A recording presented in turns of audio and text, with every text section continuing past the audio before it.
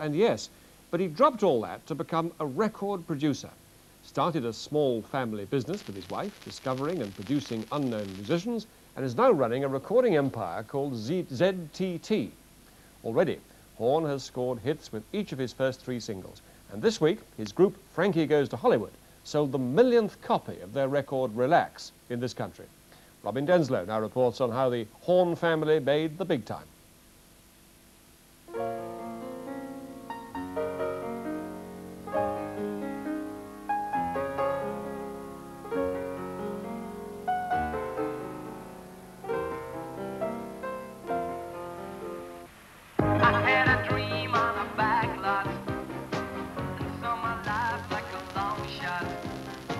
Out in the Hertfordshire countryside near Elstree live Trevor Horn and Jill Sinclair, a record producer and his wife who own Britain's most bizarre and successful new record label, Zang Tum Tum.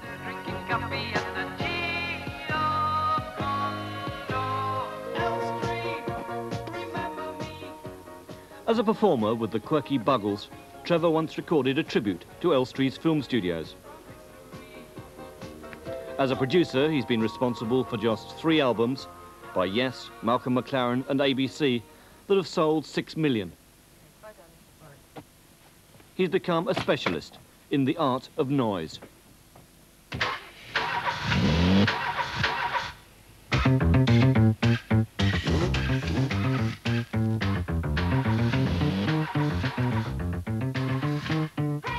For his own ZTT label, he's so far produced just a handful of singles, choosing unknown bands.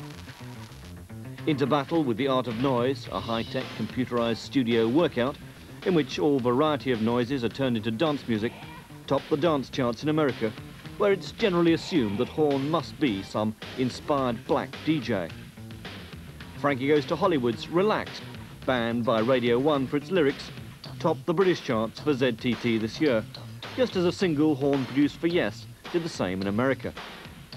And this week, Horn and ZTT have a new single in the charts from the German band Propaganda. Trevor Horn developed his production skills in the East End studio owned by his wife and her family, in which he now has a share. This bit's good. This week he's been recording again with his label's most controversial band, Frankie Goes to Hollywood. Of people have got misconceptions about what a record producer does. They think that the record producer works the desk, or they think that he pushes faders and things like that. But in actual fact, record, I mean, you can see all of this equipment. I, I don't uh, touch anything. Maybe I twiddle the occasional knob. In a way, I am the artist's uh, puppet, because they come to me with their ideas, and I use all of this and, and all of my experience to make whatever dreams they have or whatever ideas they have come true. Holly, why did the Frankies sign to ZTT? Well, well, no one would touch us with a barge pole. no, that it sounded quite exciting, Zang Tum Tum, because I think uh, Trevor and Paul Morley were trying to uh, recreate a kind of uh, Motown thing, something with a definite sound that was kind of modern and kind of forward-looking. We- We're at the start of a new era in recording because you have a guy playing a bass guitar. It, it's not necessary that he plays the bass guitar. We can, we can basically, we can do anything with sound. You can do anything with sound? Yes, we can do anything with sound. Any, we can do any, anything. We can do anything with. with sound, with sound, with sound. Yes, yes, yes yes, yes, yes, yes, anything, yes, yeah, yeah, yeah, yeah, yeah, yeah, yeah, yeah, yeah, yeah, yeah. Trevor Horn started trying to do anything with sound in 1979 in the duo The Buggles, who gave Island Records their first ever number one with Video Killed the Radio Star.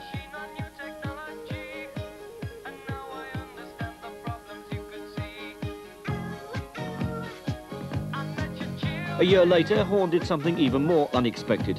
He joined Yes, that supergroup from the 70s, as their singer, performing at vast venues like New York's Madison Square Gardens. Then came the move to record producer, and now there's ZTT, with Frankie Goes to Hollywood repeating the Buggles trick of an unknown band reaching number one.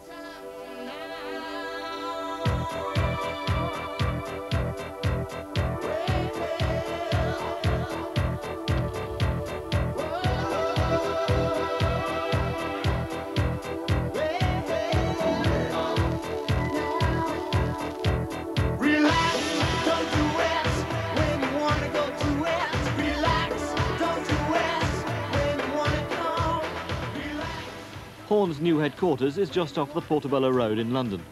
Once a waxworks factory, the building was turned into recording studios by Island Records. Island let the Horns take over in return for releasing their ZTT label, on the understanding that this would be no ordinary record company.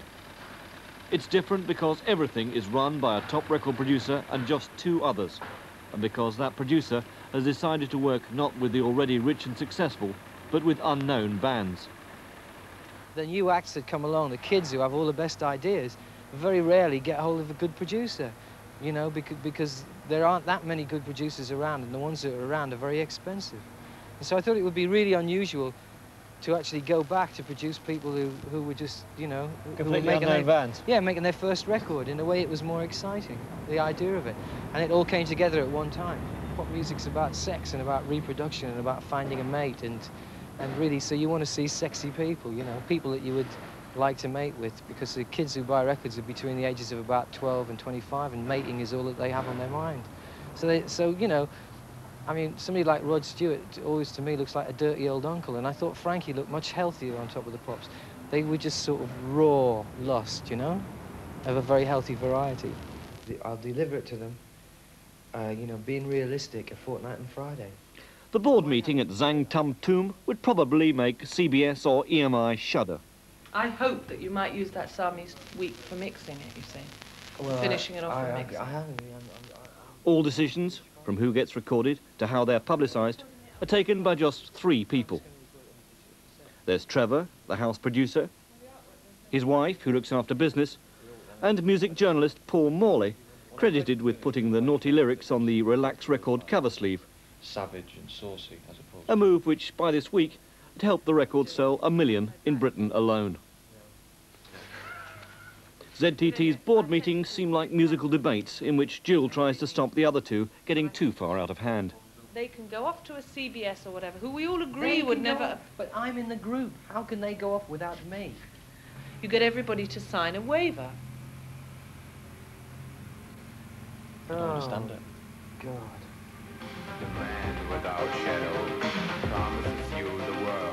After the success of The Art of Noise in America and Frankie Goes to Hollywood here, the third ZTT hit is by German band Propaganda, who broke into the British charts this week with The Nine Lives of Dr. Mabuse.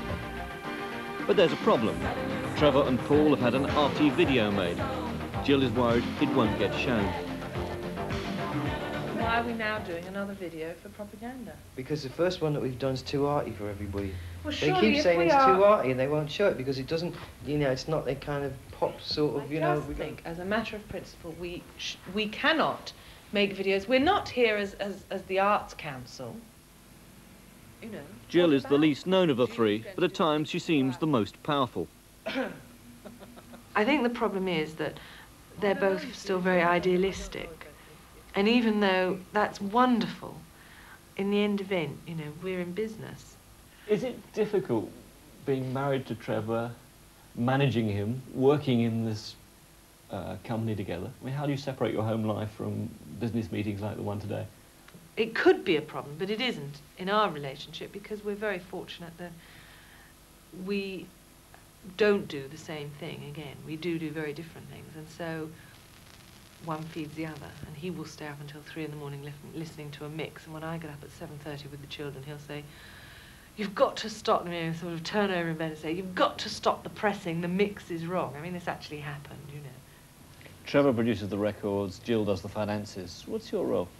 It's very abstract. I think I do a lot of thinking. Uh, I think I designed the label in itself. I mean, I- ZTT is probably an entertainment in itself. It's like, you know, Trevor and Jill have signed something to their business enterprise, which is ZTT, and I, I perform a certain public. Uh, You become its sort of public face. I think so, yeah. And that's unusual for a record label, but I think important because otherwise you just become another record label, and there are so many of them that the last thing you want to be is another record label. You have to be a little bit special. The long-term aim of ZTT is even more ambitious. To create not just a record label, but a pop music factory, with in-house songwriters providing material for performers short of good songs, and in-house producers, maybe even former club DJs, helping Trevor Horn with the production work. And the studios will be very elaborate. So how much is it costing you to do up now? I think I think uh, I think we we must be up to somewhere in the region of three quarters of a million pounds, or probably even more. I don't know. My wife handles all of that. I see. This is a very big room, and uh, we have the most modern equipment. We have a 48-track studio and a, a solid-state logic desk, which is completely computerized, and there aren't many places that have such a big room with such modern equipment. We also have another studio downstairs, which is smaller, which, which is equipped in exactly the same way, and we, we're building a third which will just be for programming computers, because so much music is done from computers these days. It's going to take an awful lot of work here to make back three quarters of a minute, doesn't it? I know. Ollie, we'll give it. We'll give it a try right now. Now, if it goes wrong, if you miss this if you miss a cue, we'll just stop it and do it again. It doesn't matter. And the next stage towards making back all that money and making ZTT a major concern is the second Frankie single, due for release in a fortnight. It's called Two Tribes, it's about war, not sex, and in its unfinished state in the studio this week, it sounded like this.